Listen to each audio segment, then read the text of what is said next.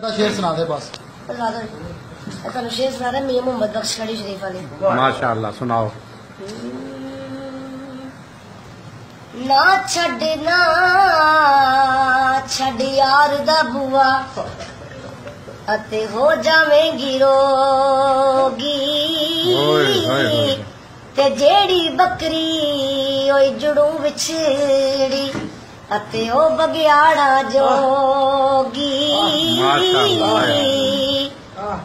ਜੋ ਦੁਕਾਨ ਦੇ ਅੰਦਰ ਹੋਵੇ ਅਤੇ ਉਹ ਹੀ ਦੇਵੇ ਵਿਚਾਰਾ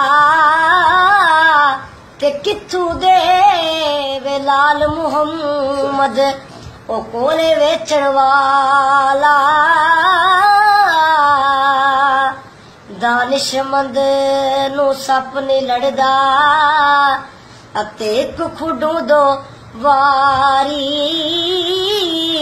ਤੇ ਉਹ ਯੂ ਮੁੜ ਮੁੜ ਤੋਖਾ ਖਾਂਦੇ ਅਤੇ ਮਤ ਜਿਨਾ ਦੀ ਉਹ ਮਾਰੀ ਬੇਸ਼ੱਕ ਬੇਸ਼ੱਕ ਬੇਸ਼ੱਕ ਗੁੰਗੀਆਂ ਹੋ ਕੇ ਸ਼ੇਰ ਕਾਬਲੇ ਕੋਲ ਸੁਣਾ ਰਿਹਾ ਗੁੰਗੀਆਂ ਹੋ ਕੇ ਉਹ ਪੇਤ ਨਾ ਰੱਖਣ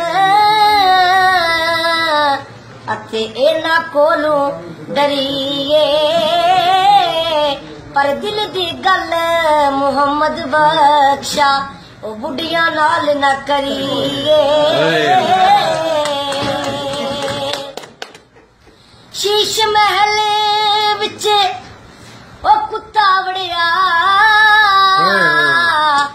ਤੇ ਉਹ ਜਿਸ ਜਿਸ ਕਮਰੇ ਜਾਵੇ। ਤੇ ਜਿਸ ਜਿਸ ਕਮਰੇ ਉਹ ਚਾਥੀ ਮਾਰੇ ਤੇ ਉਹਨੂੰ ਕੁੱਤਾ ਹੀ ਨਜ਼ਰੀ ਆਵੇ। ਮਾਂ ਮਰੀ ਤੇ ਰਿਸ਼ਤੇ ਹੀ ਮੁੱਕ ਗਏ ਅਤੇ ਪਿਓ ਮਰੇ ਕਰ ਵੇਲਾ। ਤੇ ਜਿਸ ਦਿਨ ਵੀਰ ਪਿਆਰੇ ਟੁਰ ਜਣ ਅਤੇ ਉਜੜ ਜਾਂਦਾ ਜੇ ਉਹ ਮੇਲਾ।